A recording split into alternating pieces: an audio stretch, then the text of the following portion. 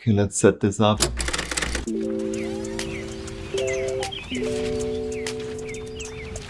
I remember about 10 years ago, I had so much back pain. I couldn't even walk, get up from a chair, get out of a car without excruciating pain. And I felt very good and young. I was just so surprised. I'm like, why?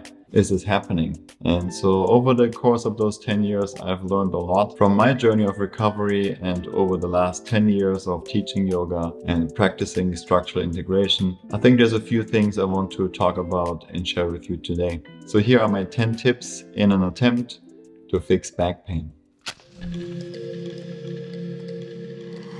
We'll first look into some general tips and principles and then go into some specific exercises I suggest you do to help you get out of the situation. And maybe you are not even in a situation that you have back pain at the moment then that's fantastic. Appreciate the fact that you're healthy, you're able to move without pain, and know that a lot of people are in pain. I saw some crazy statistics of the majority of Americans having back pain in the future. And there's many different reasons for it. And I hope I can touch on some of those here in the video. Now, the first tip that I have for you is to take ownership over your situation. Stop complaining about it. You're already in a situation right now. Now you need to look into what to do and what changes you need to make in order to get out of it and hopefully not have it come back. Most of the time, it's not that there's one accident, like a car accident, and now you have back pain. Obviously, it's most likely from this event and you will heal from it. You need to do the right recovery and rest and then hopefully get back on track very quickly and then live pain free moving forward. But for a lot of people, all of a sudden the pain is there and they don't really know why. And that was also the situation with me. I was in jiu-jitsu training. I was very active, lifting weights and everything. All of a sudden, one wrong move in jiu-jitsu and I had back pain for a very long time, very bad. Went to the doctor and he said, just stop exercising. And this is probably the worst advice uh, you could give anyone. Like movement is such a good medicine. Vitamin movement on a daily basis is extremely crucial. So very poor advice. And I hope I can give a little bit better advice or suggestions in this video. So take ownership and you're already here interested in this topic. Maybe it's not directly for you, but you know someone that might benefit from it. Then please share it with them. Sometimes a lot of the healing journey is to look into all the different options. And maybe you try so many things, but you keep looking and nothing has really worked so far really well. And you keep researching, you keep looking into it. And maybe there's this one thing and it works really well for you and your body responds amazingly to it. And it takes you out of this misery and helps you move forward with more resilience and vitality. So I believe a big part of this healing journey and figuring ourselves out is trying different things and then continue with and stick to what works for your body. With that being said, this is all very general advice. These are tips I would suggest to someone online, but it's not individual advice for your specific body, for your specific structure, your history, your injuries, all of these things. That's not possible to do here in a video like this. And even if you try to leave some comments asking about your specific situation, I would love to help, but just reading the text, I can't really help you with your specific situation. I'll try to give some more general tips that you can try. But if you need individual suggestions for your unique body, for that, you need to go to a certified structural integration therapist or to a personal trainer. I have some information in the description below. You can check it out and find the practitioner near you. If you would like to book a session with me for structural integration, which also expands into movement and all kinds of other areas, I offer them usually in Las Vegas, where I currently live, or somewhere else in the world whenever you're watching this video. More on that in the description below. You will hear me say a lot in the description below, but at this point, one reminder to check the description. There's going to be lots of information for you. There is also a video on this channel that has a long list of tips to fix your back pain. We call it the ultimate guide to fixing back pain. Go check that out. That has some valuable information in there. And I'm not repeating or rewording those things that are in there. This video is very different and it's seen as a nice complement. So both videos together are very powerful. The body is an entity of relation. It's always one body and all the areas relate to another. One change in one area affects a very distant area. The force is transmitted always through the whole body. So having any kind of changes along that path of force transmission will affect the whole body. The body starts to compensate. It always tries to make things work. It also always tries to heal itself and be most efficient in what it's doing. So it adapts to your specific input. This is why it's important to evaluate how you have been treating your body for the past decade. If you are, for example, sitting at a desk job for eight hours a day plus two hours commute in the car again sitting and you then go to martial arts training at night after sitting for 10 hours. Probably not a good idea. And there needs to be some changes to whatever extent maybe switch between sitting kneeling and standing at your desk if you have the option. Park further away so you can walk a little bit more. Go on longer walks to use the restroom at your office. Just go to another floor and walk the stairs. There's many different little things you can do that add up over the whole day and make a big difference.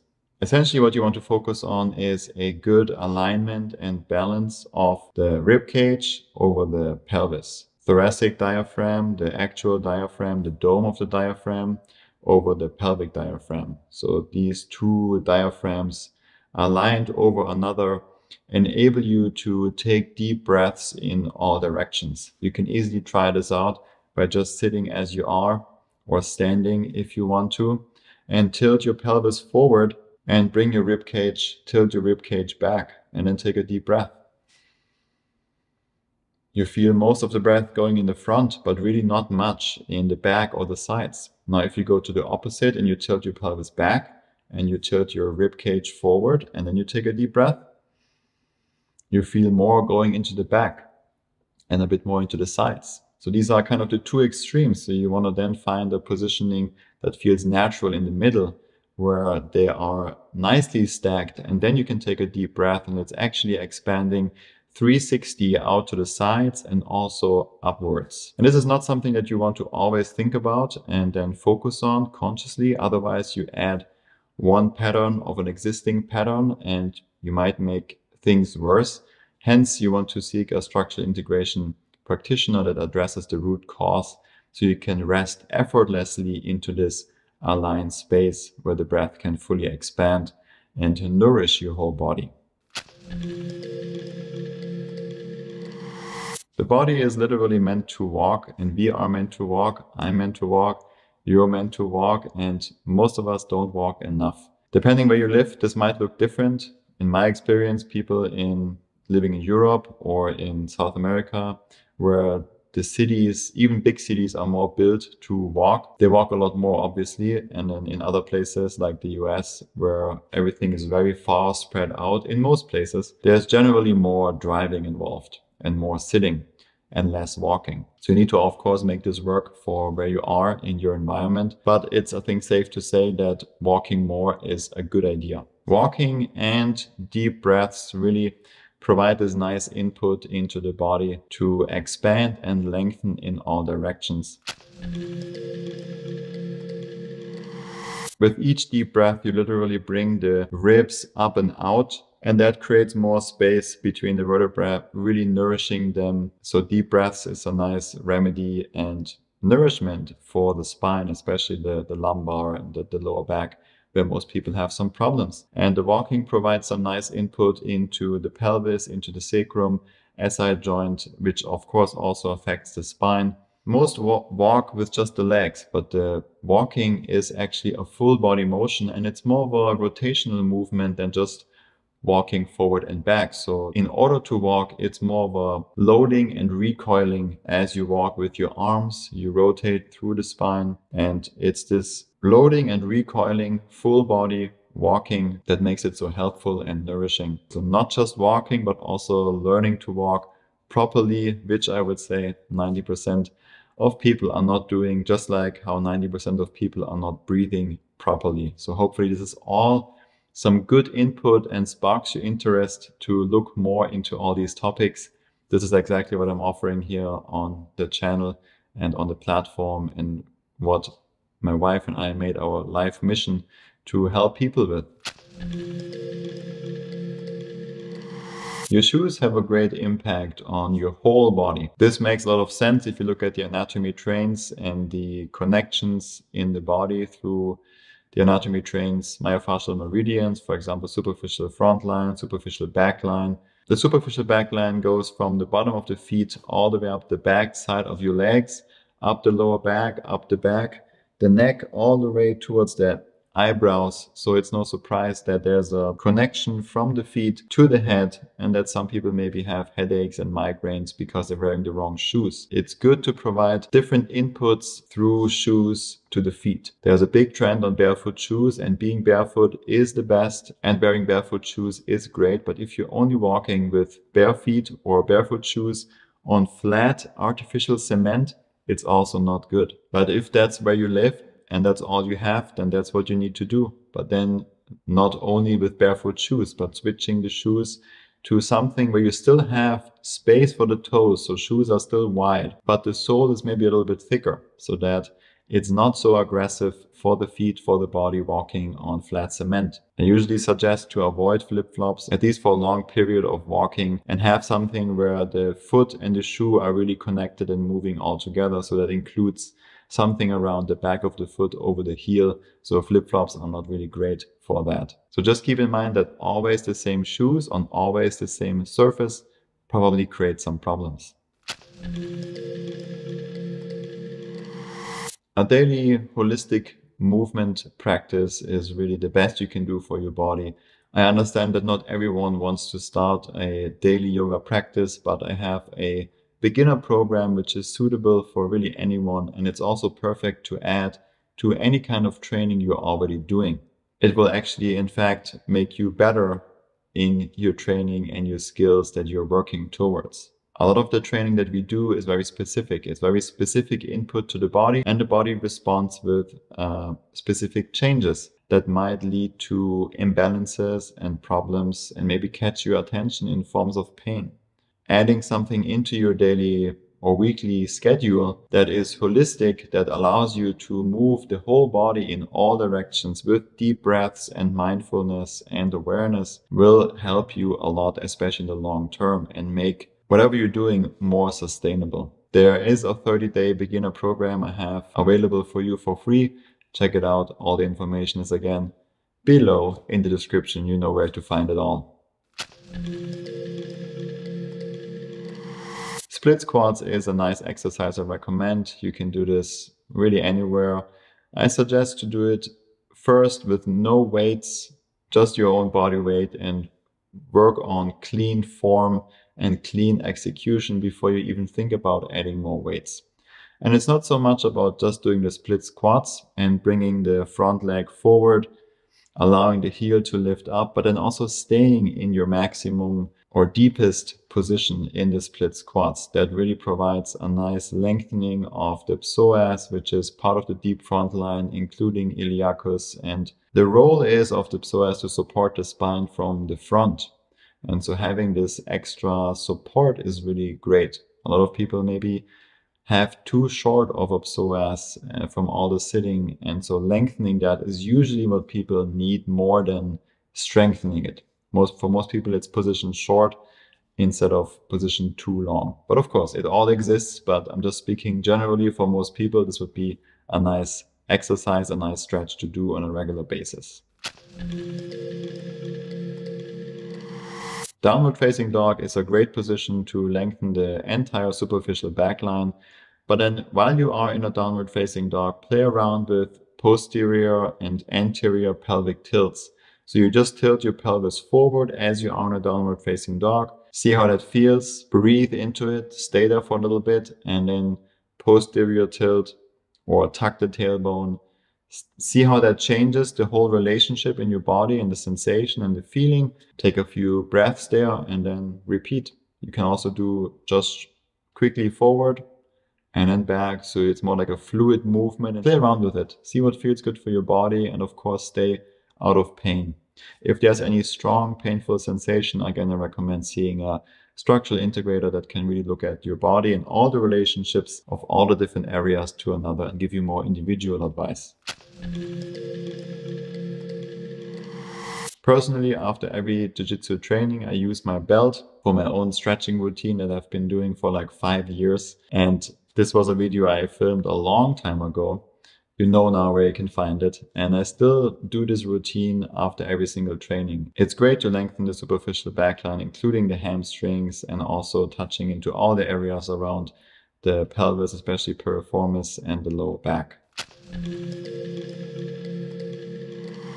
90-90 is a great position to be in. Personally, I prefer it over pigeon pose. I think for most people, it's just too dangerous of a position to be in, especially yoga practitioners, especially online here.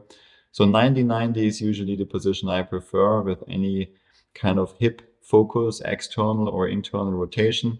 For that, you bring the front leg into 90 degrees and then the back leg into 90 degrees as well. If 90 degrees is too much, then just bend the knees a little bit more. So you are at an angle less than 90 degrees and then perform all the exercises there. One of them is to just lean forward over your front leg and then you can just stay there over the, the thigh and the knee or move with the upper body towards the foot and then back towards the knee and play around there. Hold wherever you feel like it's needed and it feels productive and good. Take some deep breaths there and relax.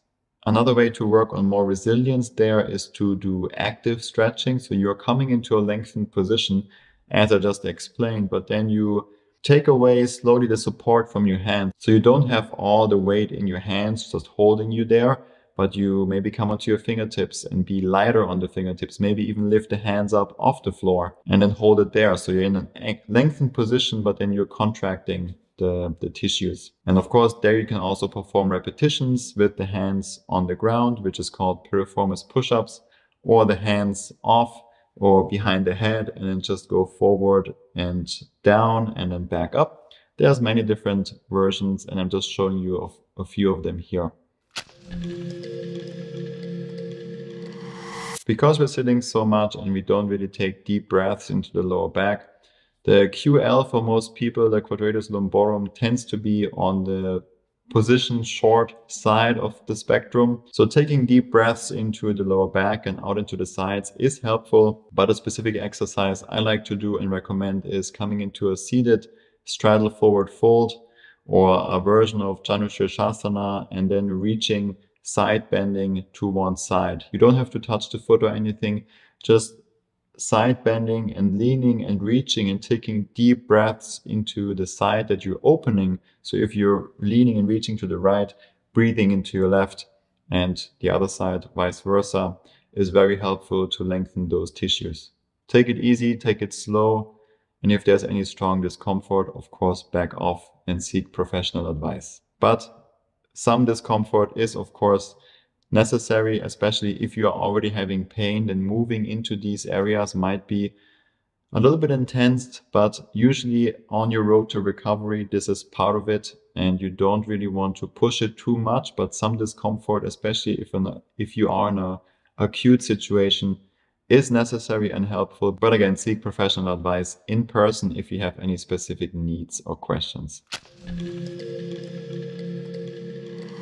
Cat cow is a wonderful movement to work with the pelvis and also with the spine, but it's a really nice movement to isolate and segment each area or different parts, but also to move the whole spine, including the pelvis. Super nice movement to do every single day.